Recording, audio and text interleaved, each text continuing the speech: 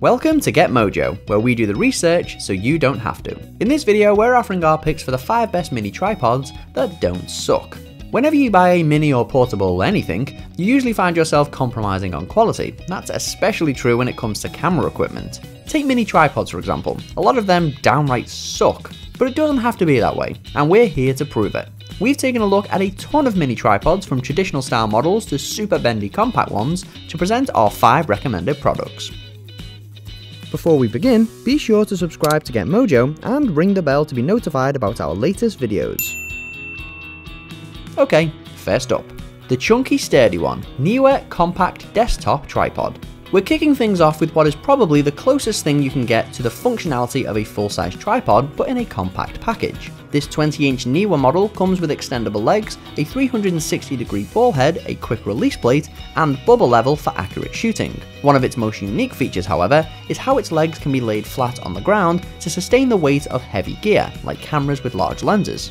This thing is small and mighty.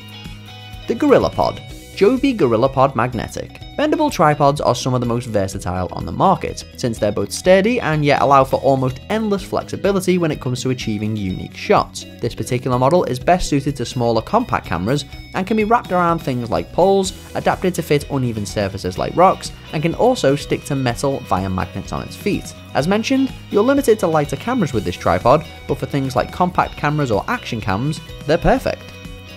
The rock solid compact pick, Manfrotto Pixie Evo. While the Neewer model we mentioned is a solid pick, it might still be a little bulky for some. This Manfrotto model, however, is rock solid even for bigger DSLRs or LED lights, and yet folds down extremely compactly and can be placed inside a jacket pocket. This mini tripod also has extendable full flat legs, but arguably the biggest selling point is its quick adjust ball head that can be moved and set with the press of a button. The bendy colourful one, Fotopro Flexible Phone Tripod. In addition to the Gorilla style tripod we mentioned earlier, another bendy type is this one, which has thick, fully maneuverable legs that offer solid wraparound capabilities. We also like this tripod's smooth ball head, grippy feet, phone adapter, and the fact that it comes with a Bluetooth remote for iPhone. And of course, we can't not mention its colourful design, which offers a nice change over the usual black, relatively boring design of other tripods. The Selfie Stick, Deerfun Mini Selfie Stick.